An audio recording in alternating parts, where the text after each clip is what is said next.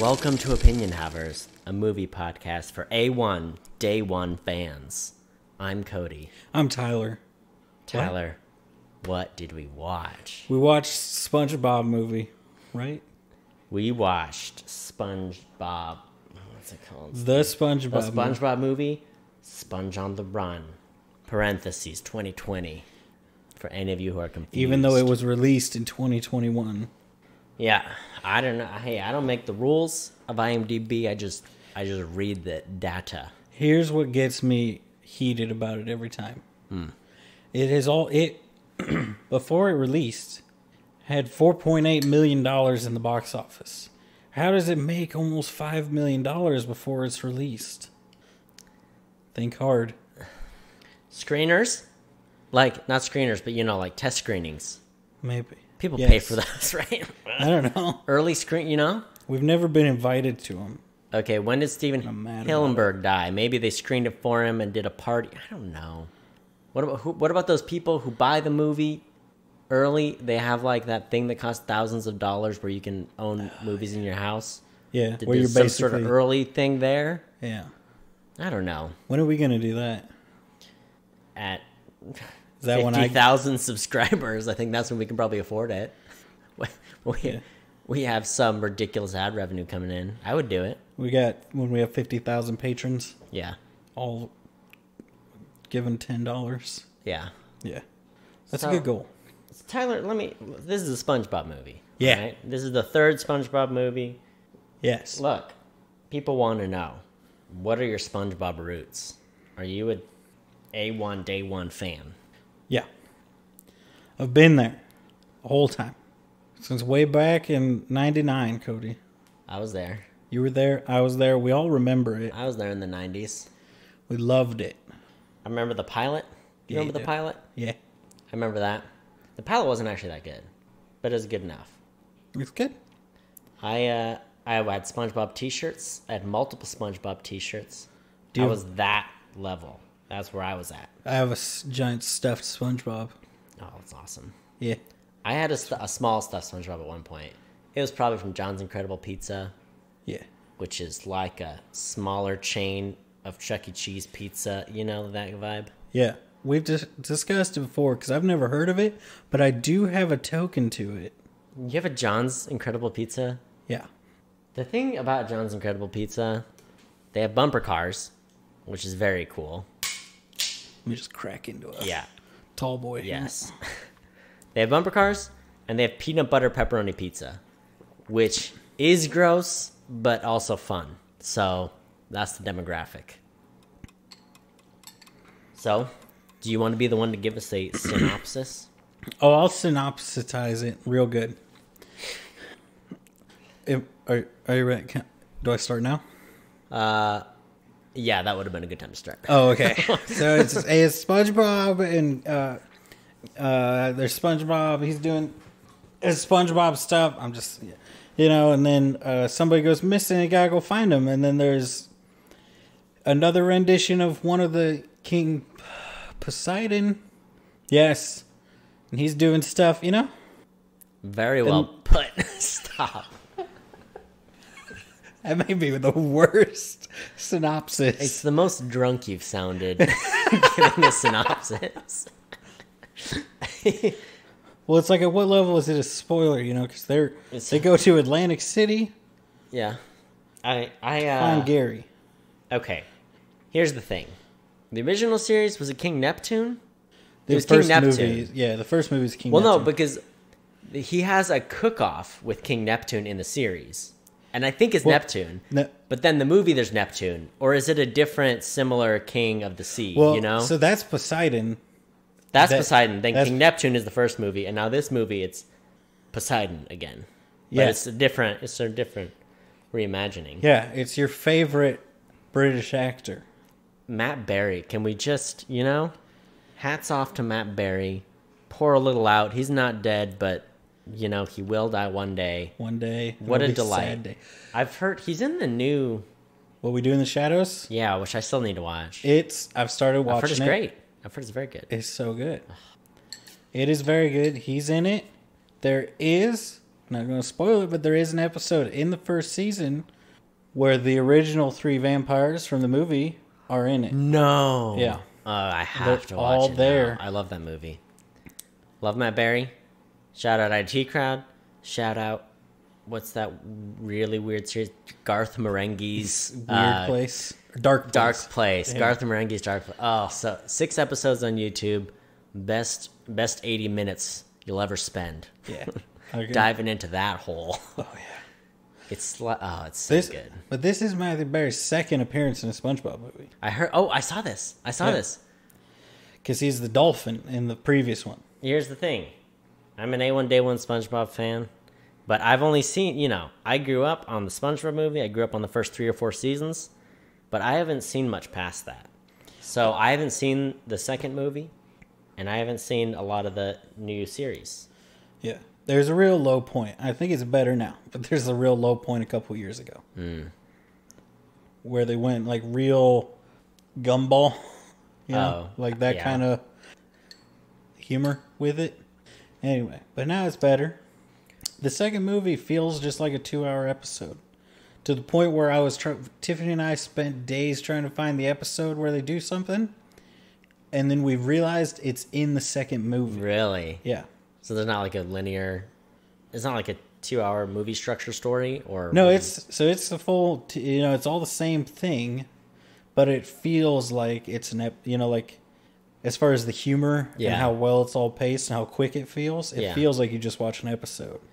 okay. It doesn't feel like you watched a two-hour movie. It goes quick. So let me ask you about this one.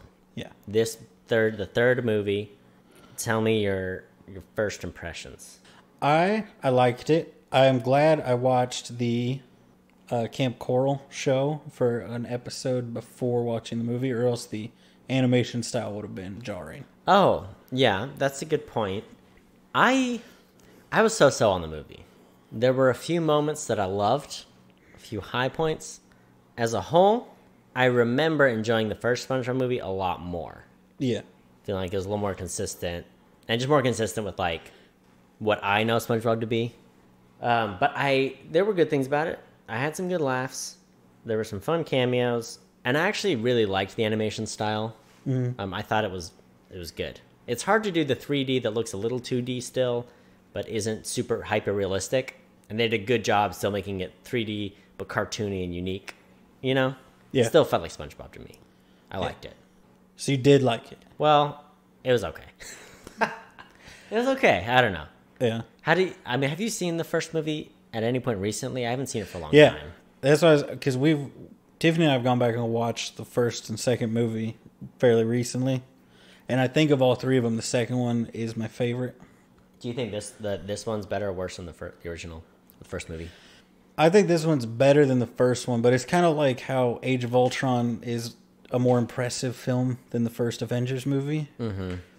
But the first one was such an event that people look at it a lot more fondly. Yeah, you remember. a I think I fondly. remember. Didn't they stop making SpongeBob for like a year or so to do the movie? I think I think I think I remember that as a child, like reading it, like oh, they're pausing the series. There's no new episodes coming out for a while because they're doing the movie, and so when the movie came out, it was exciting. Here's the thing with SpongeBob. All right, I got, I got a bone to pick All right, with SpongeBob peeps. All right, the fans or the the makers. the makers. Okay, There is zero consistency with when SpongeBob comes out. It seems mm. like it's like, hey everybody, on this random Wednesday, new episodes of SpongeBob. Everybody, and then they'll they'll let you know on Nickelodeon four months in advance, and then you get one new episode every four months. Hmm. I know Steven Universe fans are in that same thing. They do like a Steven Universe drop where it's like they haven't done anything in a year, and now there's like ten new episodes in two weeks or something. You know, Yeah. Well, so ask yourself, how many seasons of SpongeBob are there? More Keep- than more than three certainly. Yeah. So it started in 1999. So you'd think Twenty one seasons. they're on season 12 or 13, depending on where you look. Oh, I don't know what to say about that. Yeah. So it's very inconsistent. All right, okay. Before we really dive in, I just want to do one quick exercise. What is your favorite episode of SpongeBob? Ooh. Do you have yours ready? I have mine. I know mine. Go, because I got I got to think because I've been struggling with this recently. Think okay, think about it. Mine, and I think maybe part of the reason my favorite is it's so scarce. I feel like it didn't come on very often. It's kind of like a hidden episode. But then I got a DVD that had it on there, and I watched it all the time. Shanghai, it's the one where they go and they have to work on the Yes. Flying Dutchman's ship, and on the DVD, because at the end they give their final wish, and it is eeny meeny miny mo, so you gives it. Being Yeah. SpongeBob, Patrick, and Squidward. And on the DVD, you can see all three of the endings for which one they'd pick. So super fun. I loved it. Yeah.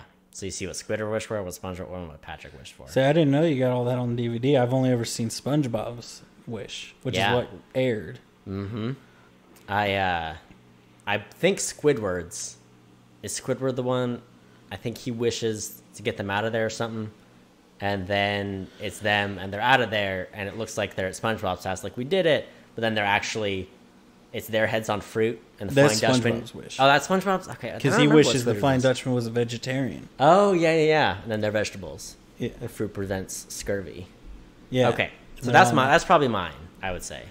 So that's what that's the one I normally say. But so since you said that one, I'll go with uh, the other one, Uh huh. Which is uh, well, it's my, the title of it is gone from my brain. We don't need, I just happen No. to know that title because I've seen it so many times. No, but I know this one. It's Right. was it Survival of the Idiots? Oh, is that the one in Sandy's? Yeah. They do Winter in Sandy's uh, when she's hibernating. Yeah, which Oh. I when it first aired, I hated that episode so much. Really? I just didn't like it. I didn't think it was funny. And now as an adult, it's hysterical. Oh, love that it. has like classic SpongeBob, the Dirty Dan. Yeah. I'm dirty. Oh, so good.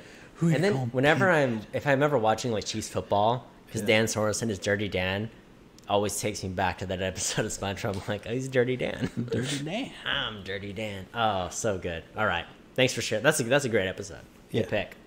But Shanghai is normally what I say because of the perfume department. Oh, I love. I remember reenacting that with a friend of mine, like on sleepovers, just being like, "Uh, that's so good." Stupid gas mask, and they pull. Oh, they so pull it back.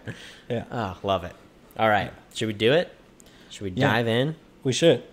We'll we'll get we'll get in this the the patty mobile, the ah. not the patty wagon, or the upgrade. They never say a name for it.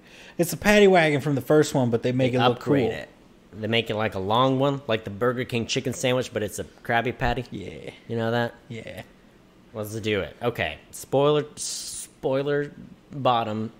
We're here. Yeah. Spoilers: Plankton was the bad guy, but he's also a good guy. Yeah. Yeah. Okay. So, right off the bat, I was offended Okay. because they start and they're like, "You're in the ocean," blah blah blah, and there's a narrator who's just some dude, Just some dude. and he's narrating, um, and then they're Bikini Bottom. I was like, "What happened to the French guy?" But then in the middle of the movie, I think the French guy was narrating. It was like a British guy in the beginning. What was that about? So it's Tim Hill doing the, the yeah. He's the documentary filmmaker guy, documentary narrator. Oh, I just remember the French guy. The French guy does come up later, but that's the was- Who does the voice sense. of the French guy? You're asking yourself. Yeah, tell me. Is it Tom Kenny? Yeah. Probably Tom Kenny. Yes, Tom Kenny. Yeah. Tom Kenny does. Uh, Tom Kenny does Frenchie. So anyway, I was just offended they didn't include Frenchie. We get into Bikini Bottom, new art style. I really like the art style. I thought it was good, with one exception. No. They almost got Sandy's fur right. Like it was all it was like unsettling. It was in the uncanny valley. I think the rest of it all worked. I think the hair on the fur, Sandy's fur, I think it looked wrong and didn't match the fun aesthetic of everything else. Yeah, because everything else is all smooth, so it is kind of weird. And she's really brittle. It looks like it looks like she's from like a Wes Anderson stop motion movie, and everyone else is from the SpongeBob movie. You know. Yeah. Yeah. Yeah. Um. so he goes through everyone in Bikini Bottom, few characters. Then we see SpongeBob Patrick getting up. That's fun. I uh, I love Patrick. I think this movie for me, Patrick's like, "Good morning, SpongeBob," and SpongeBob's like, "Good morning, Patrick," and they go. I could have just had that in the movie because every time Patrick said it, It's funny too because SpongeBob was like doing different things. Patrick just kept saying it, and every time Patrick said, it, I just laughed again. I was like, this could have been a ninety-minute movie for me. Yeah. For me, I don't know about you. For me, it was all I needed. Just have them get their mouths get slightly bigger each time they say it. oh man! So I mean, Well- that's that started me off right. I was into it. That's all I needed, really. yeah. Um, SpongeBob wakes up, and Gary's on his face, and he's like, "Ah, snail trail." He's got stuff on him. What'd you make of that? I went, oh. See, that's what Bailey did. Went right over my head, much like that joke would have if I was seven year old, seven years old watching it. Yeah. Do you get it now that you've thought back on it? Or I mean, as soon as she was like, "Oh," I was like, "Yeah, I get it." I know how much substance it had behind it. There's no, there's no malintent there. It's a kids show. no. well, that's the thing is that I think it being SpongeBob, the intent was for it to be. Here's one for the adults. Here's a Yeah. double entendre for the yeah, for the it's, adults. it's meant to be seen both ways, you know? Yeah, I hear that. I hear that. SpongeBob, of all shows, does that the most masterfully. They do. I defy you to find a show that does that. I better. remember in college whipping out like an old SpongeBob DVD, watching a few episodes, and I was like, I did not get literally half of these jokes, and now it, like there were so many jokes in there that I got as a college student that I didn't get as a kid. Yeah. but I still enjoyed it just as much. Which is, it's not an easy thing to do, but it is much appreciated. It's it's masterful. It's like a completely different show when you're older.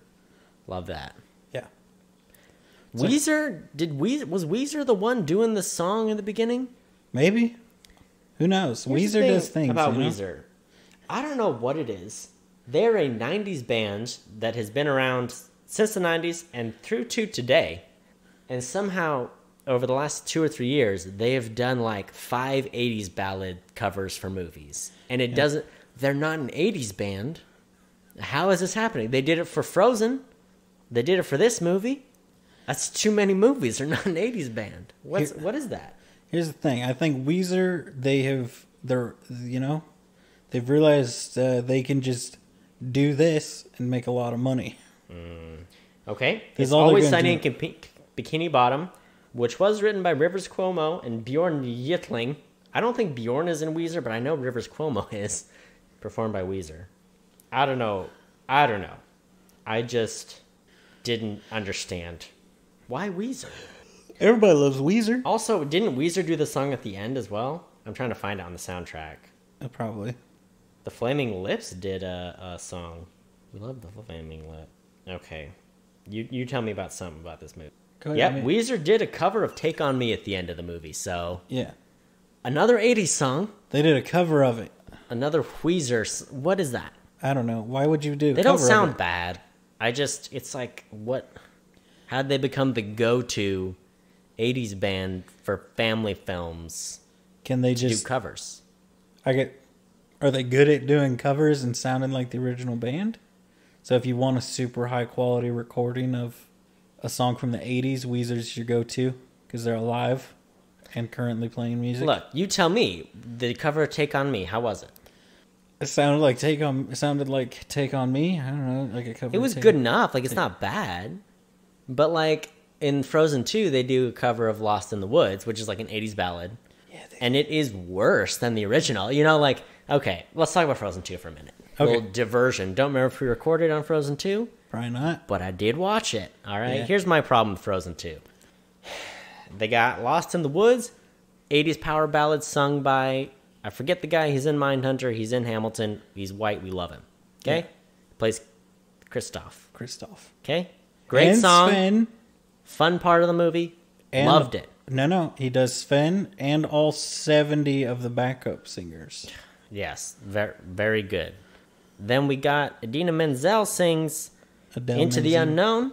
Yes, What'd you say? Ad- Adele Menzel. Adele Menzel. Ad- You're going to get me all mixed up.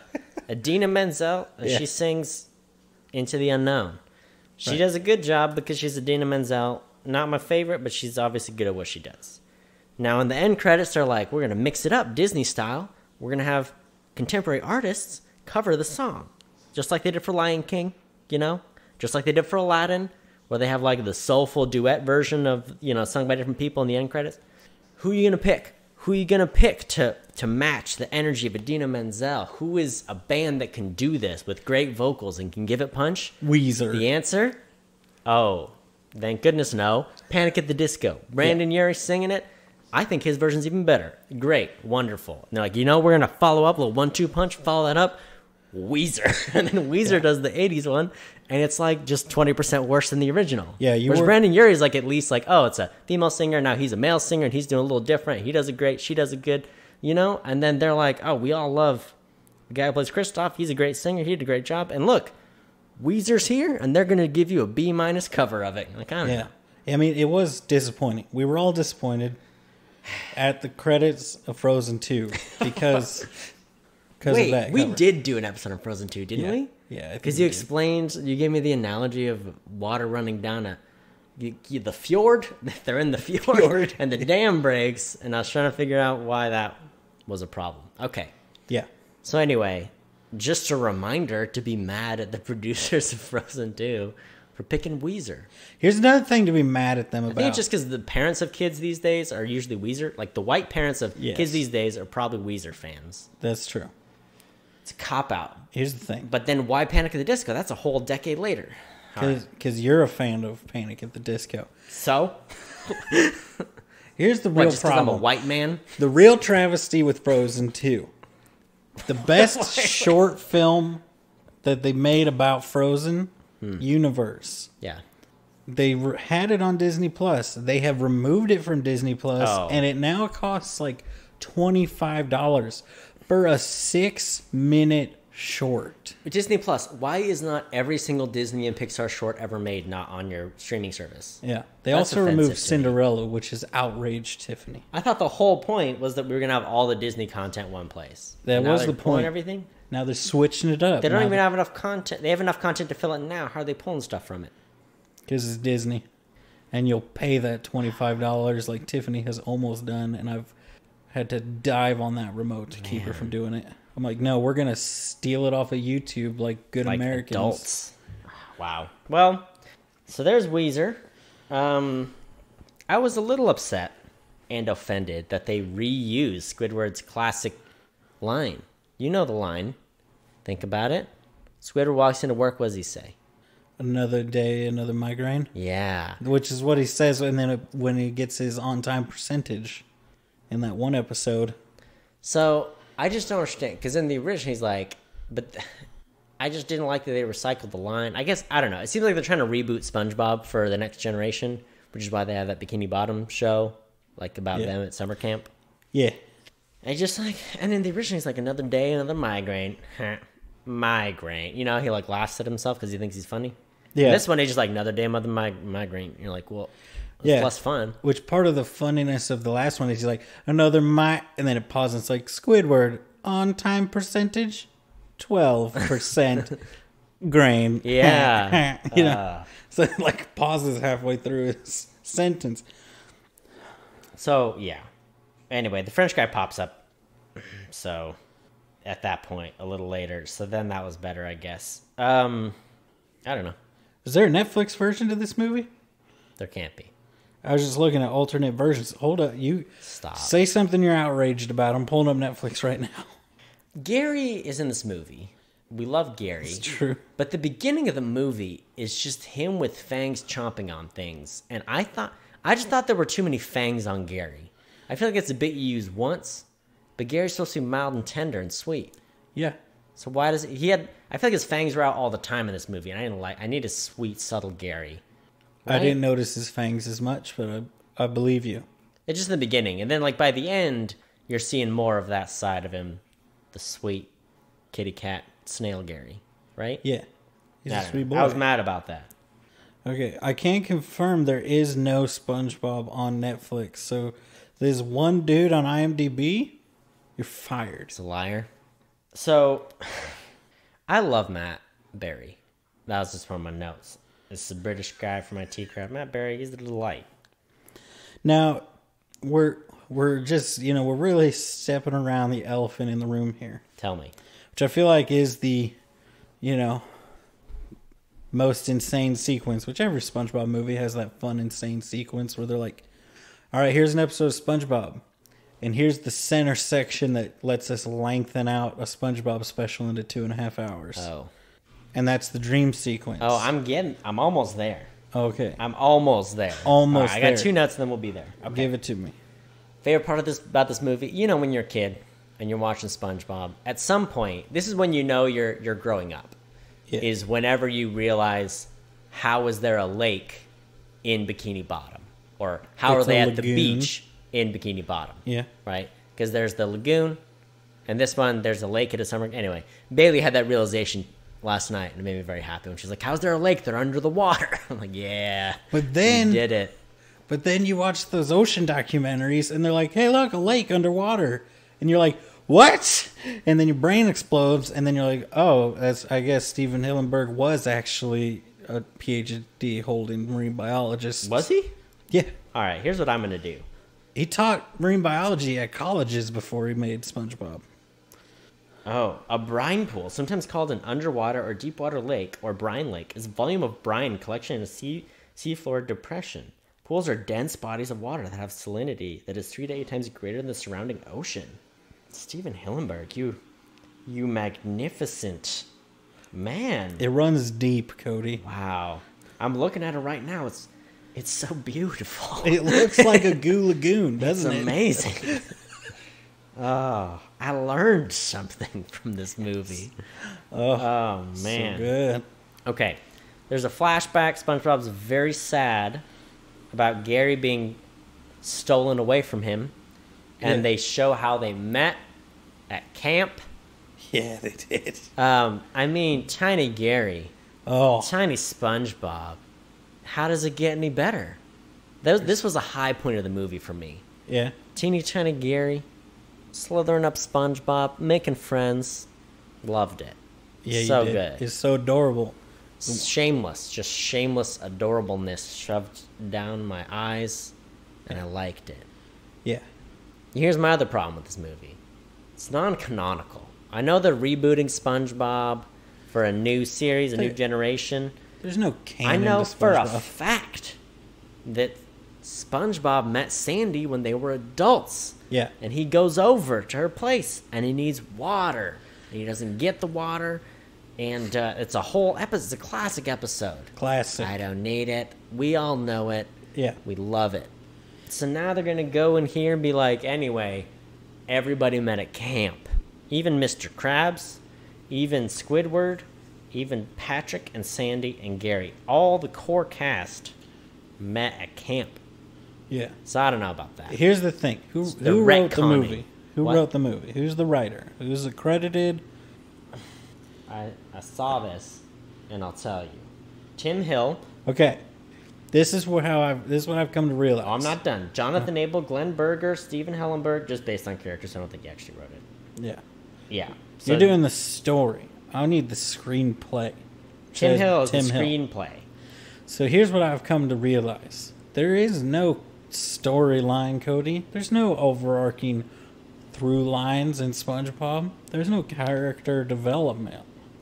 Don't draw attention to the weird me choking on the words there, okay? Here's the thing. You got to pay attention to who wrote the story for that episode and that will tell you what is true in that universe Ah, because they're all super inconsistent. Sometimes Mr. Crab can go into Sandy's dome without a helmet. Sometimes he has a helmet. Why does Pearl need a helmet? she's a whale. Why does she need a water helmet? She's wearing a water helmet in some episodes. Yeah. She's the only one that wouldn't need a helmet. Yeah. Whales breathe. Air. Air. Which are some episodes where they have bonded over both breathing air. Okay. I hear you. But I take issue with you telling me there's no character development, all right? There's conflict, there's resolution, there's stuff that happens sometimes, Yeah. right? SpongeBob is pure. May be obnoxious at times, but he's a good soul and a good heart, right? Yeah. So that, you know? Yeah. I know what, What about the time when Squidward would never eat a Krabby Patty? Then he eats all the Krabby Patties. Yeah. You know?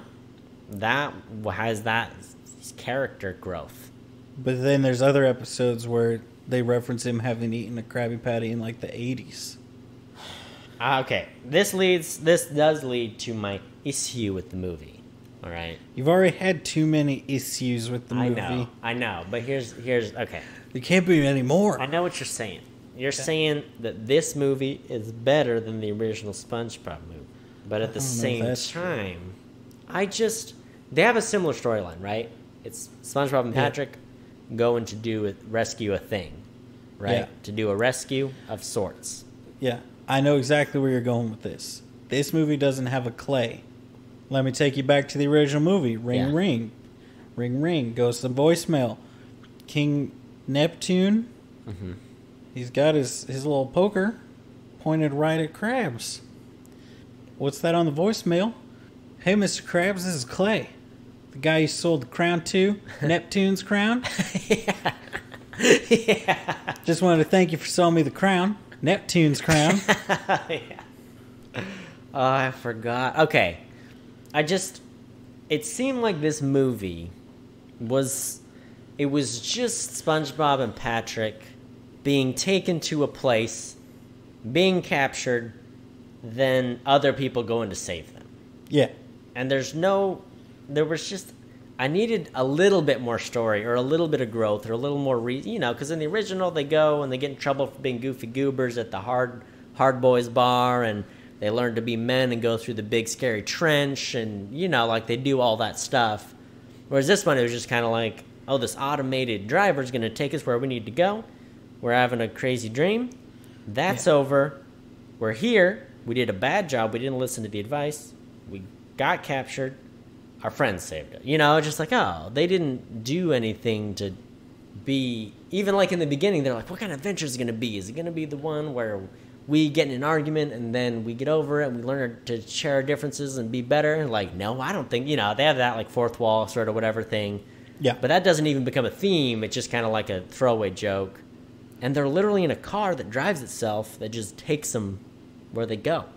yeah. I just don't like that there was never any SpongeBob didn't you know, they even talk about the courage and having this the coin and the thing and I don't really feel like he ever does summon his courage. There's one I guess he kind of speaks to King Poseidon a little bit, but that's it. You know, I don't know, I just I wanted a little more.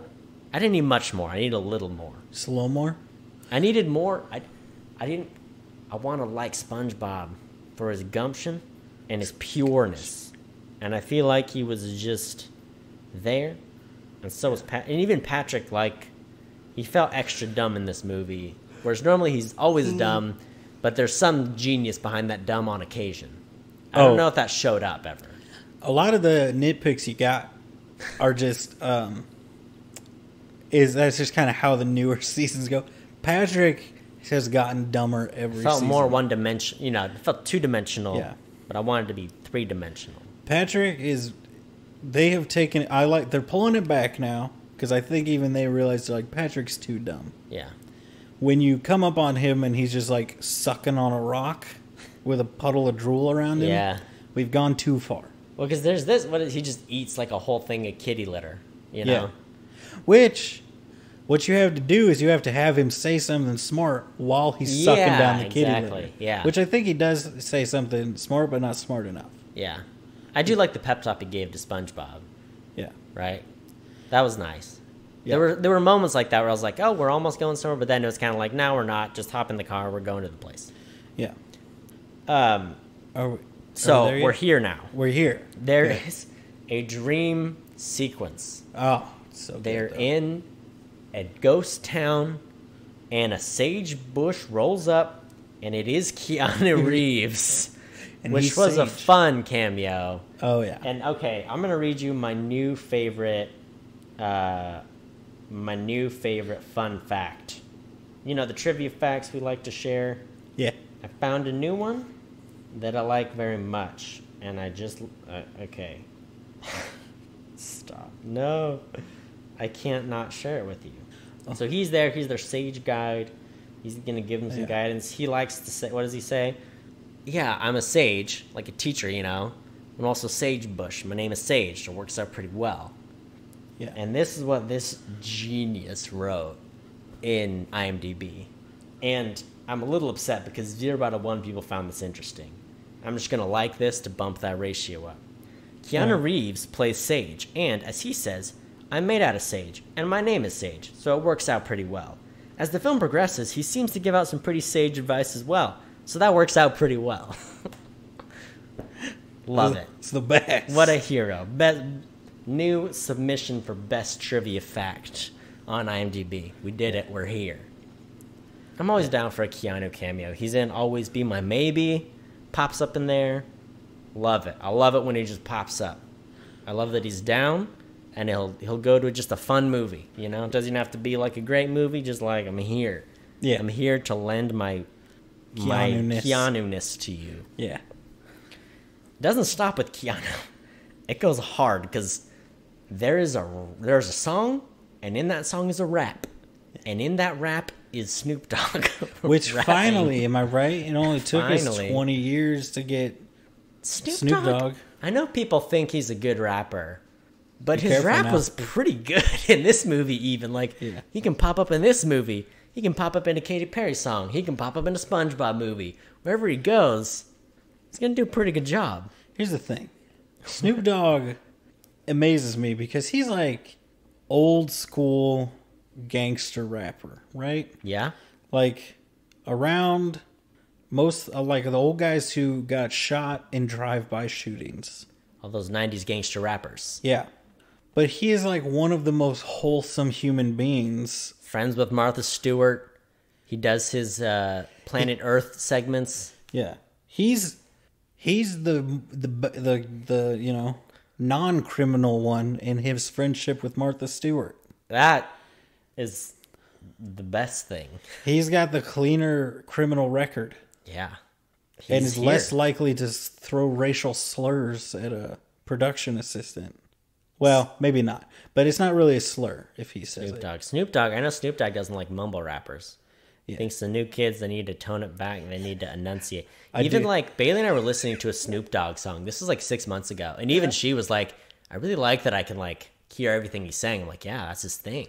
Yeah. He's into it. He like has a nice flow. He's not a fast rapper. He's not a slow rapper. He just gives it to you, gives you the nice lines, and you know what he's saying. Yeah. He also, I do remember he went to last one of my favorite things he appeared in. He went to the like EA event where they revealed Battlefield or something or Battlefront 2 and they had a big like tournament mm-hmm. with a bunch of YouTubers and other influencers of various kinds. Yeah. And it was like him and another famously it's like him and I don't know, another rapper who's like famous for always being always smoking weed. Like constantly having weed in his system. Mm-hmm.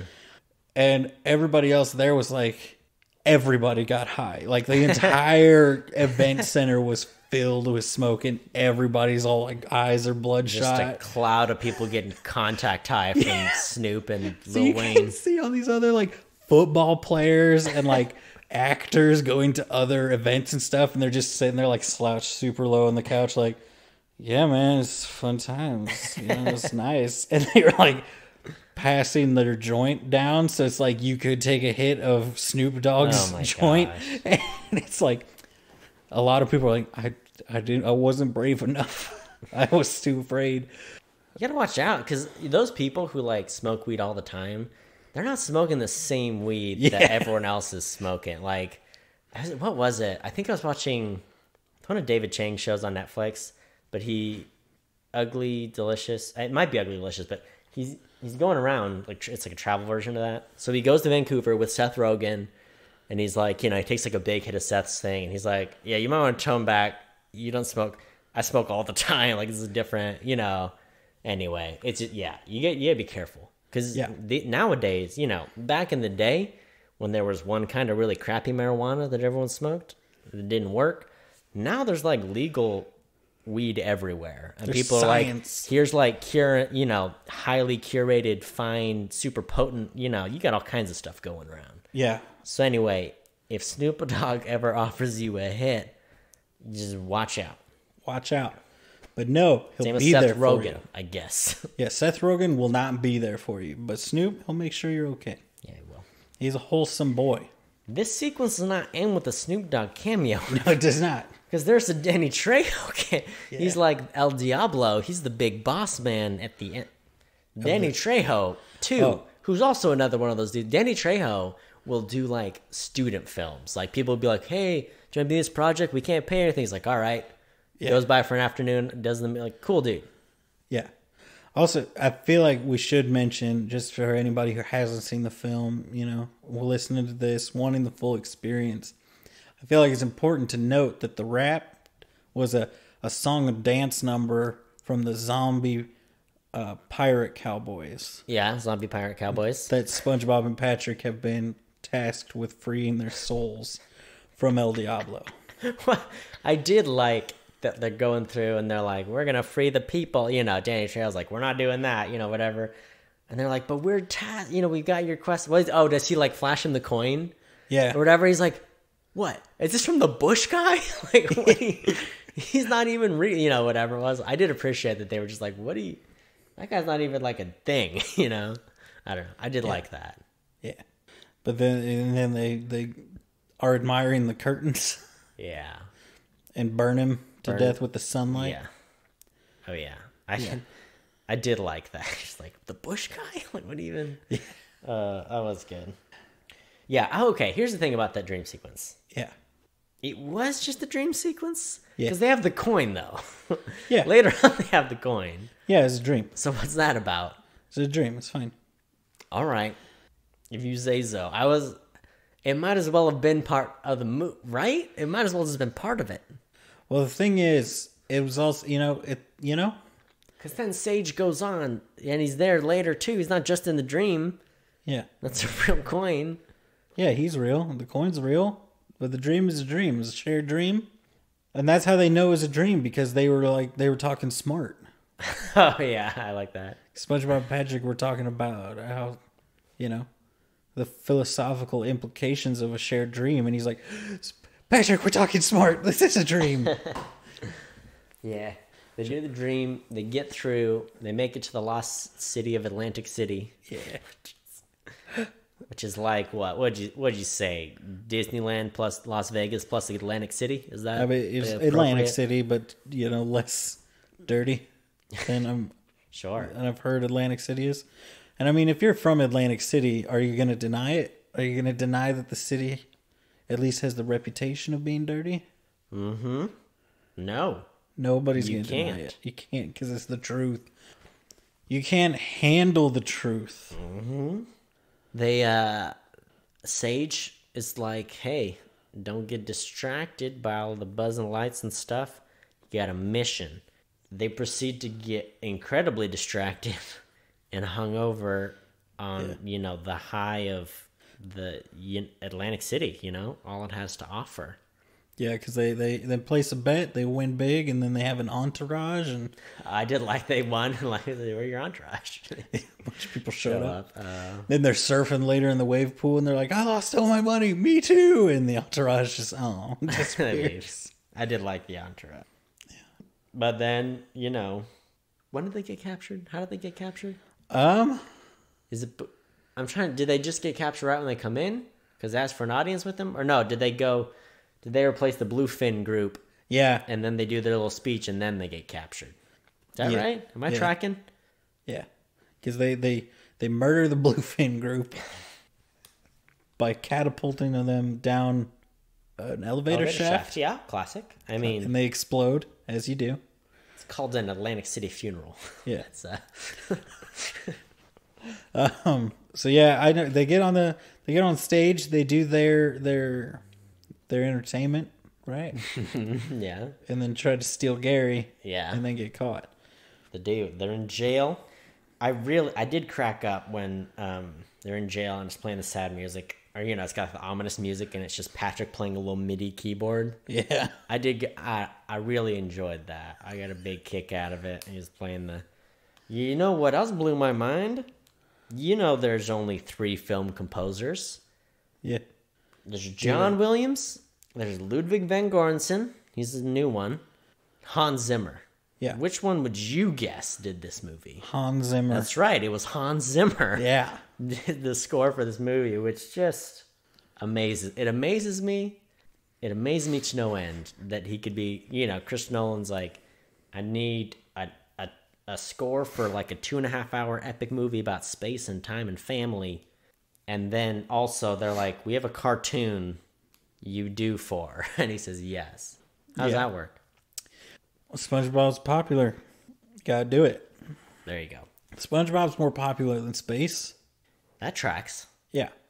How many people are up in space? Not a lot. Probably none. How many people are in SpongeBob? Mo- Keanu Reeves, Trent Danny Trejo, Snoop Dogg, David Matthew Berry. Hasselhoff. Oh, oh, David Hasselhoff. There you go. Uh, Antonio Banderas. He's in the second one. He second is. movie. I've He's- heard from yeah. the IMDb page. Yes, that's true. Um, okay, so they get captured. They're stuck. I also like that they have their little fight, and so Patrick opens. he just like opens the prison cell and, And then goes to the one next door. Yeah. like, oh yeah. It's like I'm leaving. I thought I thought that's how they were gonna leave, and that's not even how no. they still stay trapped. Yeah. So then Sandy and Mr. Krabs and Squidward and Plankton band together and ride the new and improved paddy wagon to go save him. That's what I. That's where the plot just for me. I was like, well, there. At least in the first movie, SpongeBob and Patrick use the power of their friendship and whatever, and they're able to get through. You know, their Yeah. pickle. And this one is like, we're here, save us, please, and they do get saved. You know. Yeah, but you know, I mean, they done the thing. They done the power of the friendship. They done the whole crew going and saving. Now it's time to do the. They went. They failed. Now it's time for the backup to come and save you.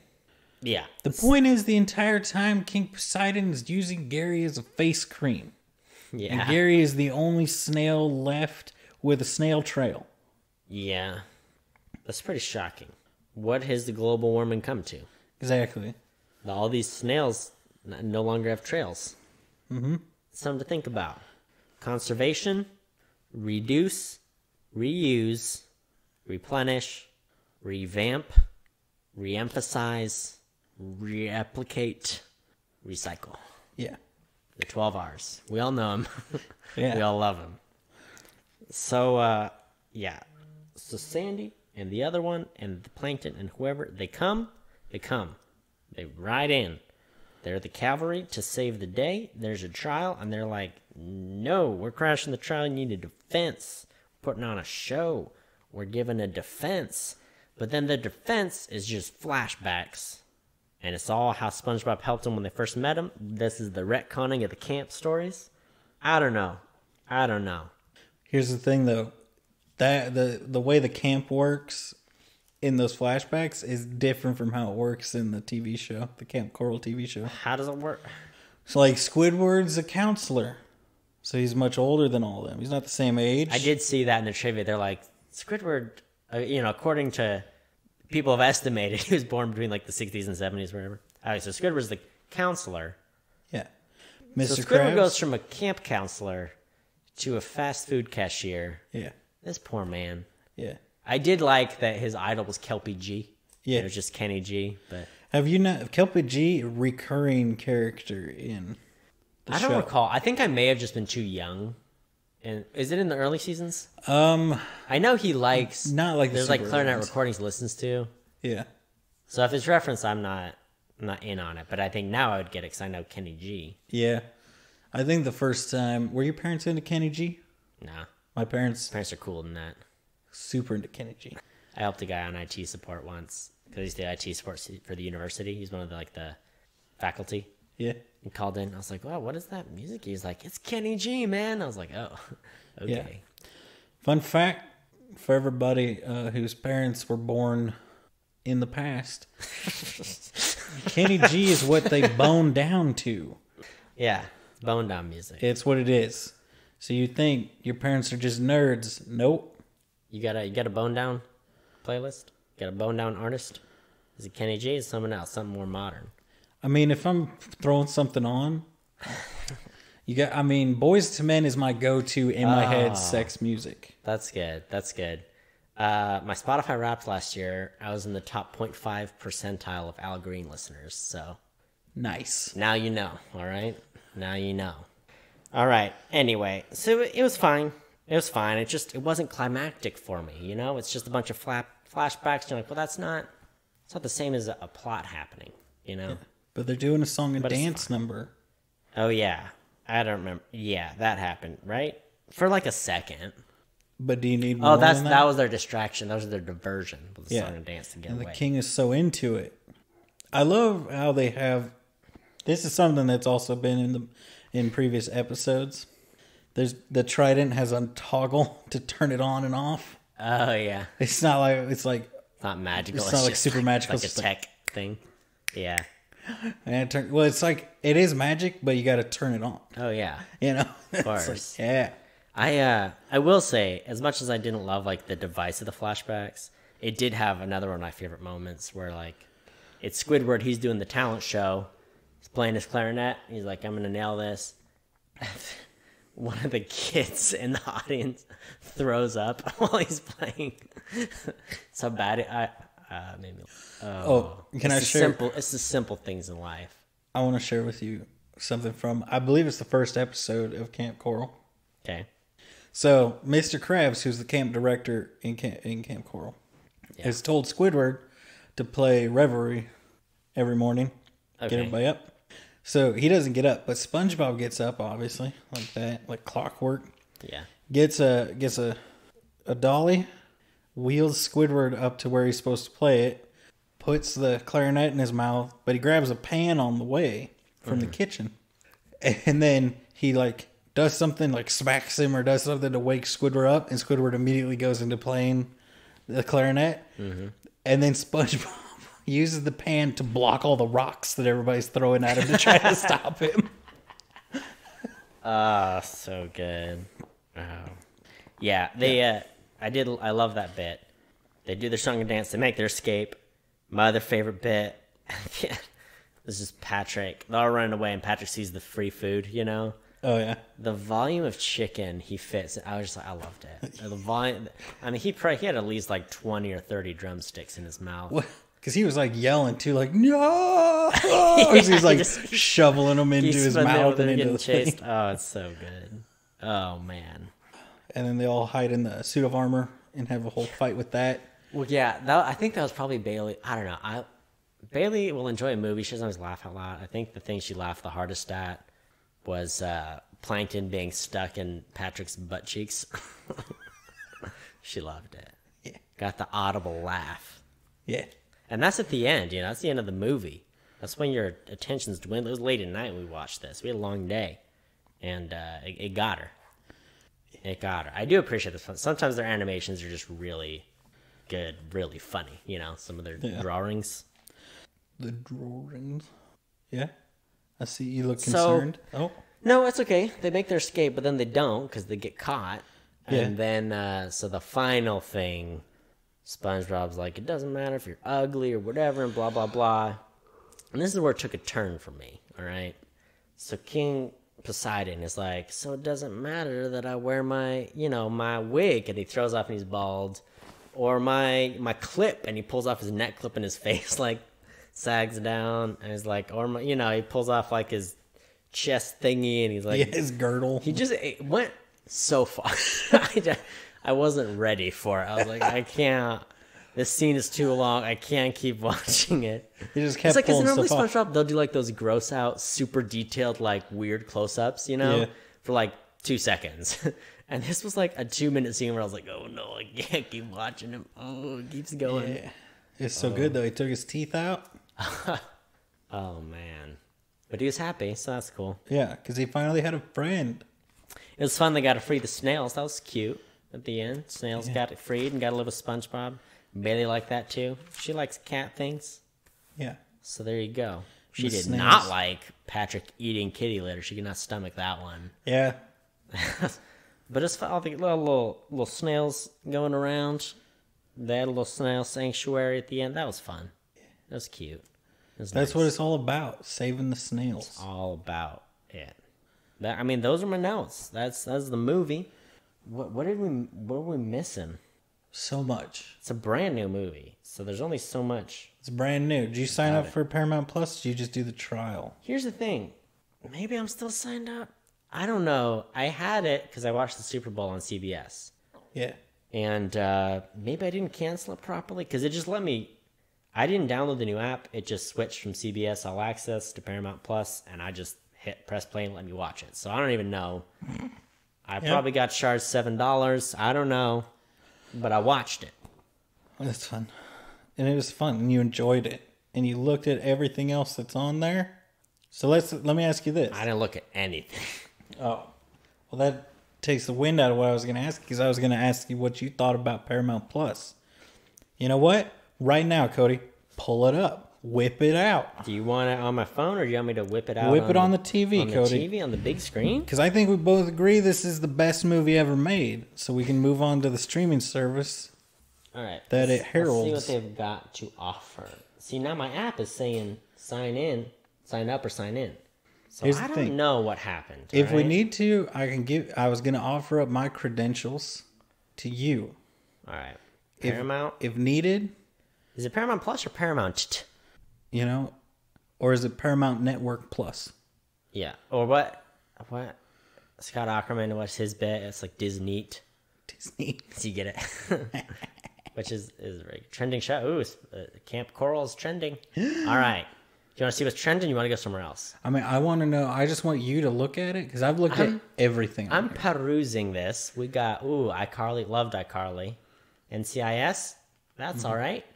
Paw Patrol, keep hearing about it. I got nep- nephews, nephews in laws, whatever, into it. Yeah. Ink Master, nope, hard nope. you love it. Oh, the real the real world's getting a reboot with the original. Clarice actually looks interesting. I was gonna say you're gonna go past Clarice and not say Y five O. Star Trek Discovery is supposed to be good. Star Trek, Star, but you know, Star Trek's been pretty consistent. I don't think any Star Trek fans are like, I hate this series. Like that one's fine. Star Trek Discovery. Uh, did very you ever good. watch Next? No. Oh, so bad. Trash TV at its finest. Uh, oh, Blue Bloods.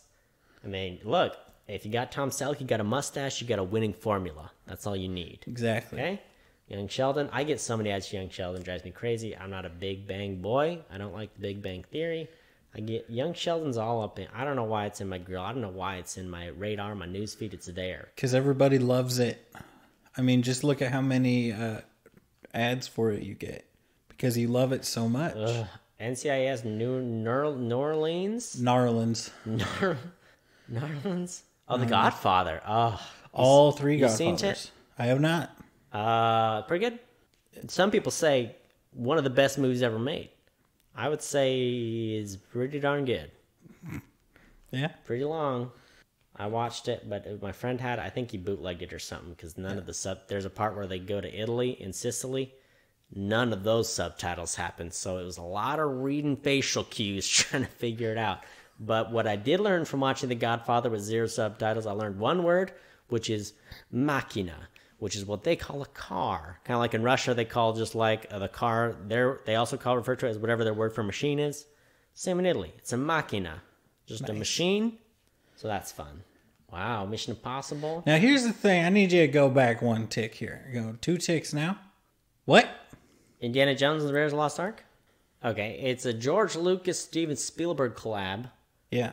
There's a man with a hat and a whip. Yeah. It belongs in a museum. Yeah. That's all you need to know.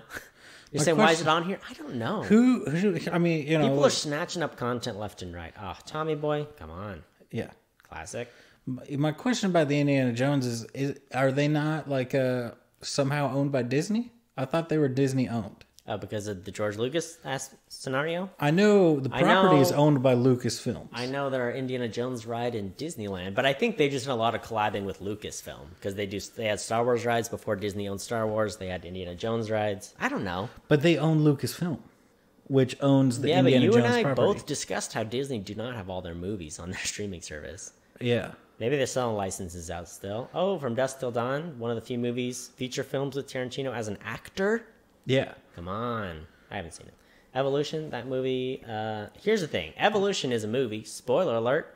It is a it is a 101 minute long film that is actually a commercial for Head and Shoulders. So if you haven't seen it, I saw it when it came out. It's uh spoilers for the movie Evolution. They defeat the aliens things with head and shoulders because it's got the chemical, whatever chemical is bad for them. Yeah. I don't know. I don't know. They got Aeon Flux and the old cartoon. Oh, well, there's like, was there like an anime for that? Is that what you're talking Yeah, about? a very weirdly animated anime. Oh my god, they have a whole just Star Trek section. They got Picard, Look. they got Discovery, they got Lower Decks, which is actually not bad. I love Lower Decks. Uh, So yeah, good. pretty good. Picard apparently amazing. I've watched a lot of Discovery. I love it. Shout out to that show. I was going through uh, all these with my wife, and I'm I I formulated an opinion that may possibly be unpopular, but here it is, Cody. Star Trek is consistently better than Star Wars, but I like Star Yeah. Wars better.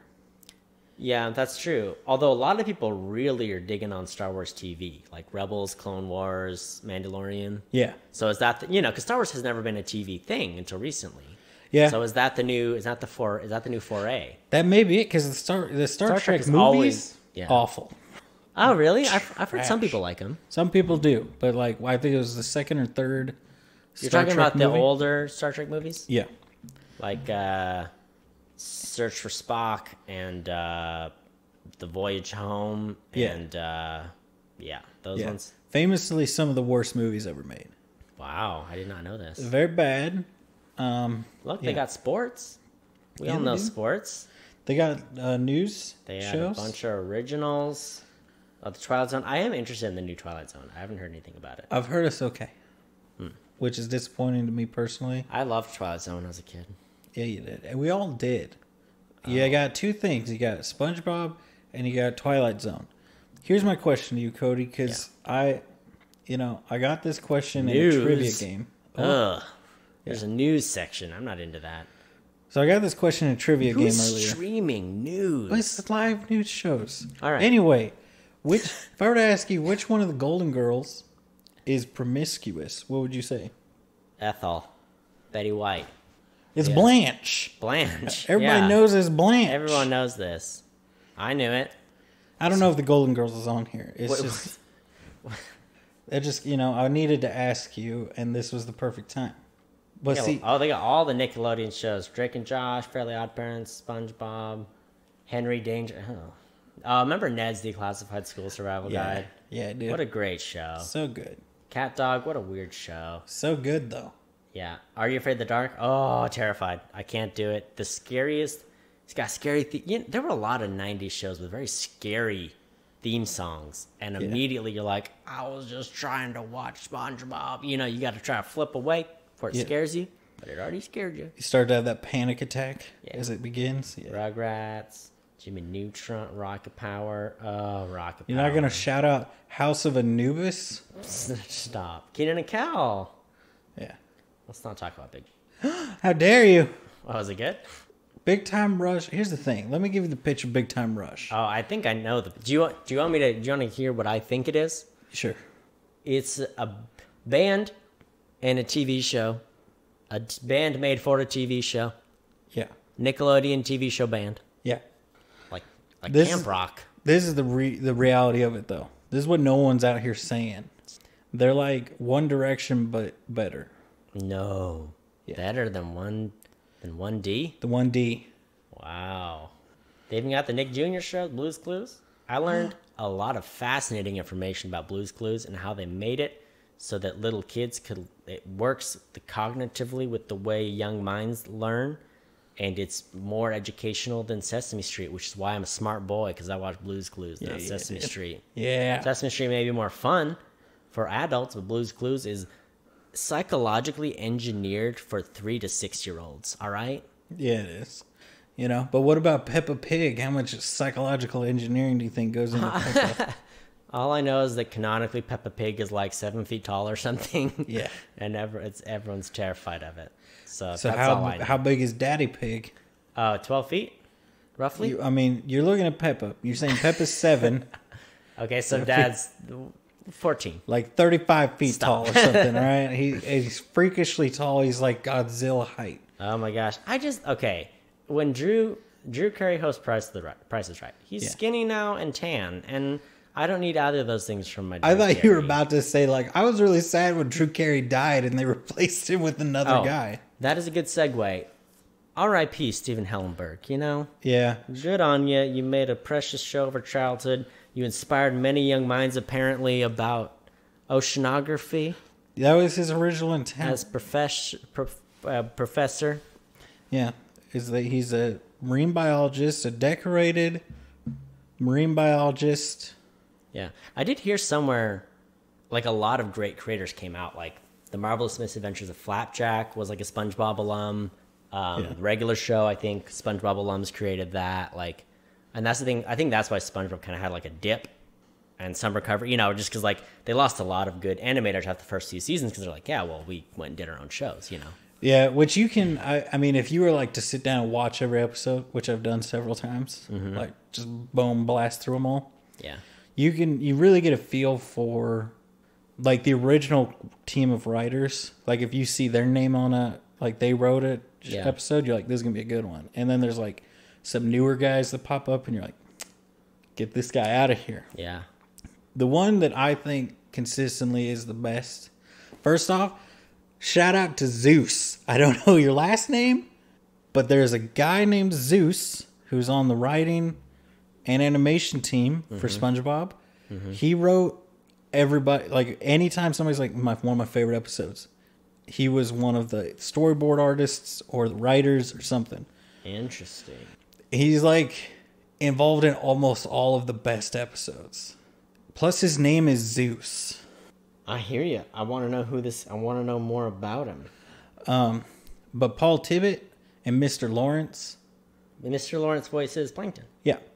They're both guys who wrote, uh, I would say, the bulk of the earlier episodes that people like, and then got more back, like started writing more episodes as it got better. Yeah. According according to the SpongeBob wiki on fandom, Zeus Cervas Yeah, is his name, and uh, he wrote. So what did he say? Oh gosh, uh, there's a banner on this website that makes it impossible to read. This is my nightmare. yeah, it's the worst. It's Okay. Uh, he was a crew member from season two to nine. Worked with Casey Alexander. They worked as writers on more than hundred episodes since season five. So that's pretty cool. Yeah, I would like to know uh, the episodes he did. So I guess I won't. Personal top sixteen. Oh, worst episodes. All right. Well, I'm not. We're not. I'm done with this one. So thank you, Stephen Hillenburg. What are you? What are you at? Are you gonna recommend this movie? yeah. I think this movie is. I think the second movie is the best. If you're a SpongeBob fan, I think this one would be easier for somebody who's not into SpongeBob to watch. You know what I mean? You, I'm. I'm curious about this second movie, but I don't know. It's just fond memories of the first one, and this it was okay for me. I don't know if I. I don't know if I if this quite gets my recommendation. For as high as the highs were, I think the lows were too low for me. It's so you're saying it's not worth signing up for and spending a hundred dollars for a year subscription to Paramount Plus. Unless you're gonna stream a whole lot of news. What if you plan on streaming the Halo TV show? Oh no way! Is that coming out on Paramount? Yeah, it's being moved from Showtime to that's they're wanting it to be their equivalent to like the Mandalorian or uh, Whoa! whatever the big show on Netflix is. I mean, if you're a fan of The Bold and the Beautiful, The Young and the Restless, or uh, Price a show is called right. The Talk, which has to be a Oh. worse version of The View. Yeah. It just has to be. It is. And um, maybe, maybe. It seems, I don't know. That's the problem with CBS. I, I watched it for sports, and most people, I think, it's a Star Trek machine. Yeah. if you love Star Trek, it's Which- great. If you're not into the Star Trek, then it's like, there's not a lot. there. I Scrolling mean, through I- it, there's more than it looks like here because I think there's lots of good movies that are buried down there. Cause I mean, they have The it's there. Godfather and Indiana Jones and stuff. But I will say that there is, I think, to me, it looks how um, you're in just the popular section right now. Uh, like HBO Max did when it first launched, or Disney Plus did when it first launched, where you're like, Right. oh, there's like nothing here. and they- then as Yeah. contracts that they have with other streaming services expire, Mm-hmm. they'll re- regain. Because like some of the shows, they have like uh like I think CSI, which is a big show for CBS. They have the set first and second season, and then the fourteenth season. Oh, Because right now, I think it's Hulu right. has the contract to have all the seasons on. I don't know what Hulu's gonna do. All their shows getting snapped. I mean, just their A's of this. There's like several rows. Amelie's on here. There's a lot of documentaries. I might watch Amazing Pigs. There's also, I will say this, they so Comedy Central is included in their brands. Oh yeah, they have a lot of comedies. Anthony Jeselnik. Ooh, I should watch that. I like Anthony Jeselnik. Yeah. Mark Normand, Sam Morril.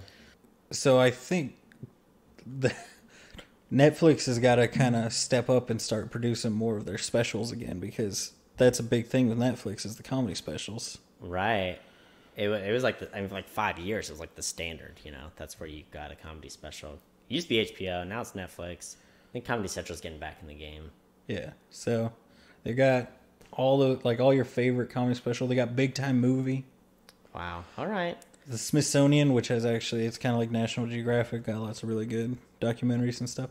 So I don't know if I I would recommend the trial. I don't know if I'd recommend signing up for it now, but But they got Charlie Brown.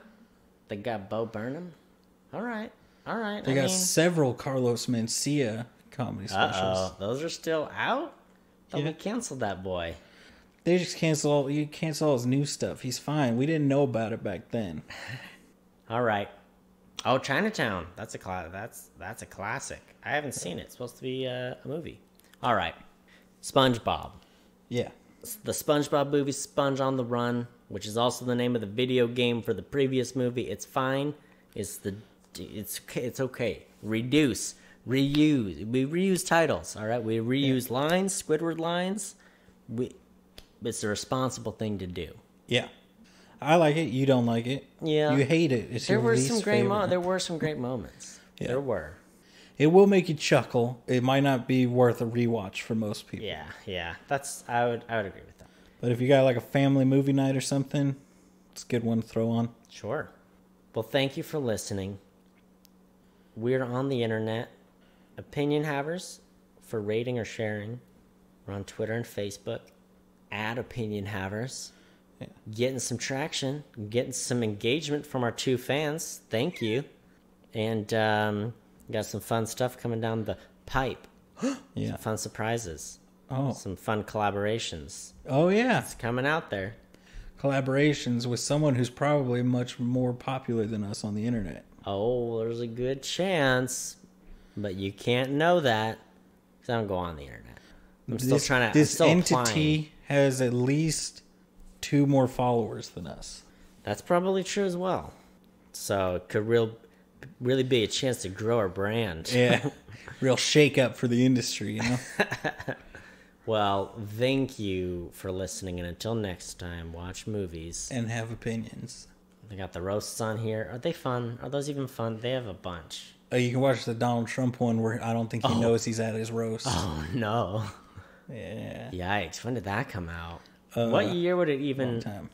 The roast, I don't understand because for a while I thought it was for comedians, but it's all cele- these are all just celebrities. James Yeah. Franco is a kind of comedian. Yeah. I don't know. I don't know. You know? Roast me $100. at opinion havers on Twitter.